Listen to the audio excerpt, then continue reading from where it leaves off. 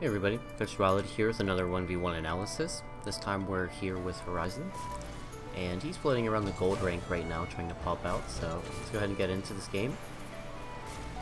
And the, the first thing I notice here is how quickly you're leaving this ball.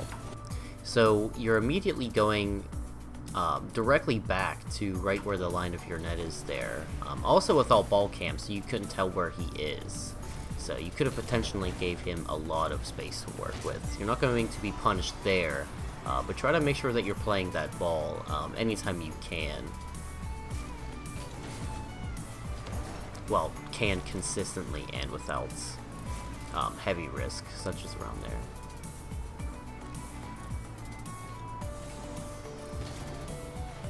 Your spacing is fine, but your jumping off this wall is going to throw you off. Um, like, play the ball and just drive down through that wall and just drive into the ball as part of your touch and get it moving forward.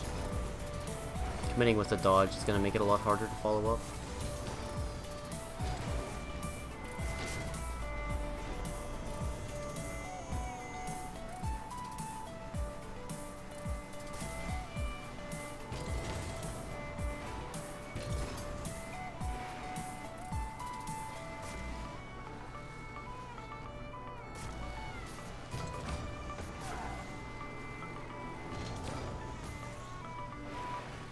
Take from the wall there.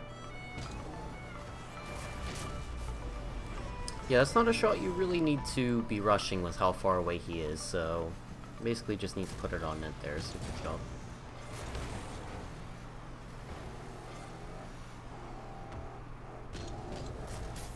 Try not to follow the ball this slow like this. You have 11 boost, I would be taking some of those 12 pads near your net and uh, turning on or something like that. Because basically the way you challenge that, uh, he should have just played that over your head into the net.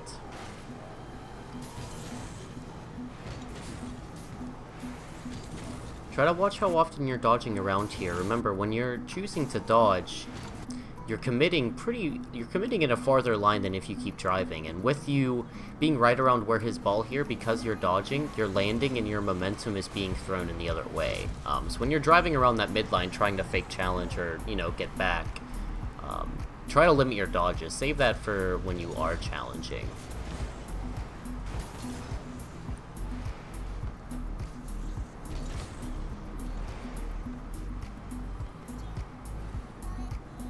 not sure why you left the ball there. I think if you kept going forward, you would have had that. Um, a good player is going to recognize your uh, constant hesitation there and take advantage of it. So I think really you just failed that flip back.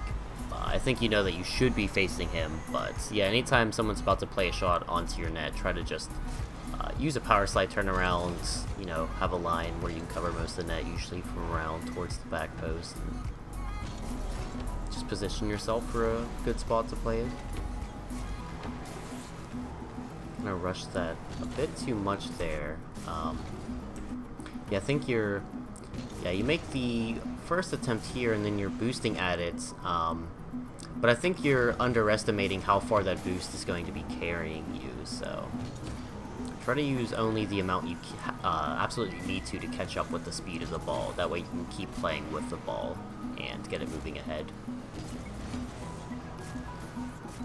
The 50-50 there.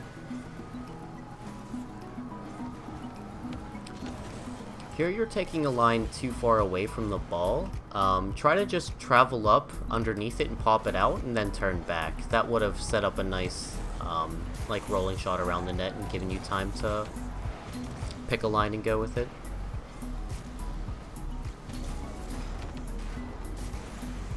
Fifty Good finish there.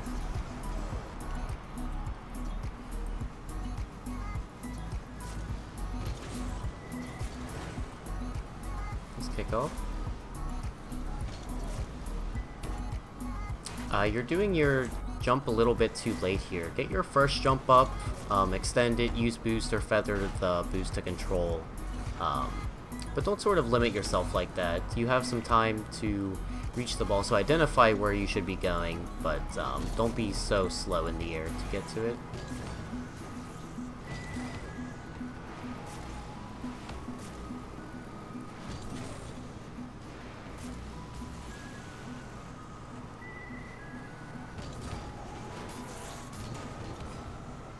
It's kind of a risky touch here.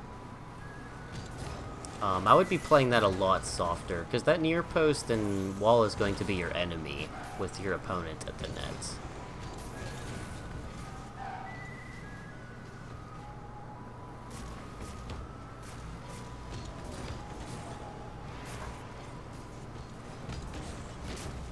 Good patience there.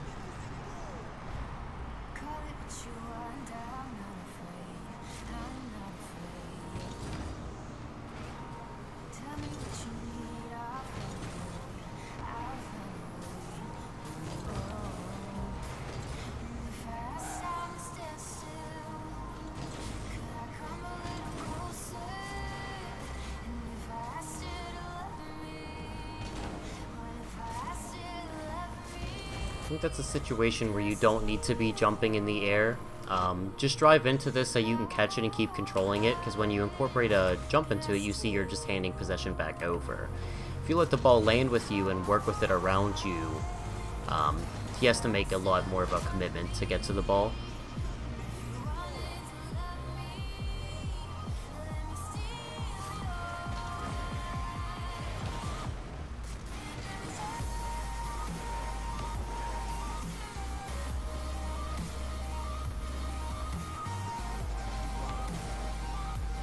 You really just gotta get up in the air after that first touch. You get that, you should get under it, get your first jump up, and just use a dodge to get some power towards it, because even even if he still got there at the same time, it would be um, a 50-50 that you're dodging into pretty strongly. So here I think you're just hesitating initially, but then you go, um, uh, yeah, really it's just a backflip there. I imagine you probably didn't mean to. Um, so I would just attribute that to a mechanical mistake.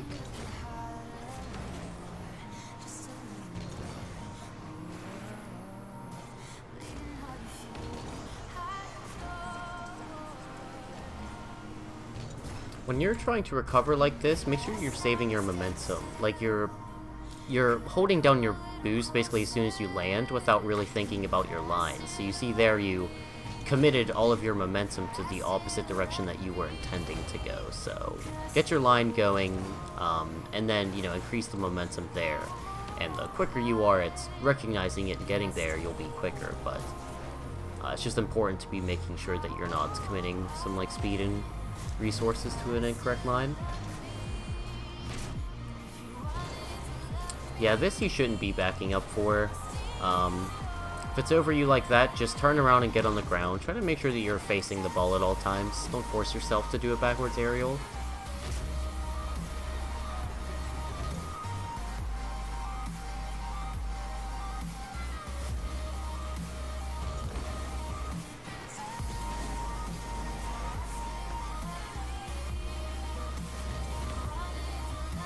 Just getting a bit behind that ball here. So you basically get your line, and then you start boosting here too far to the right. Uh, you want to start boosting when you're uh, starting to face the center, or at least just make sure um, that you already got yourself to pointing at the center when you are. Uh, rushing that a bit too much there. You got time and space, use it.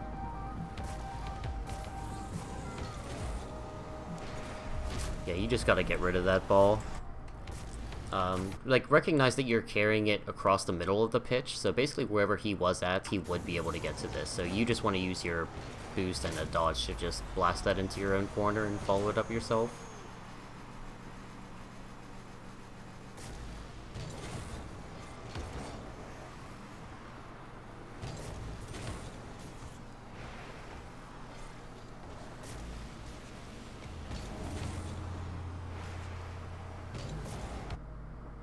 Alright, uh, that's going to be it for this, so overall basically I would just try to make sure that you're practicing on getting your line uh, towards on the ball where you need to be and saving your boost uh, to commit to that. And also probably use a little bit more boost to make yourself around the pitch you know? Take advantage of those 12 pads by just getting some boost to hit supersonic quickly after a dodge and picking up some pads to make up for the boost that you used. Um, leave a like if this helped you out at all, Um, thanks for the replay, Horizon, and I will see you guys around.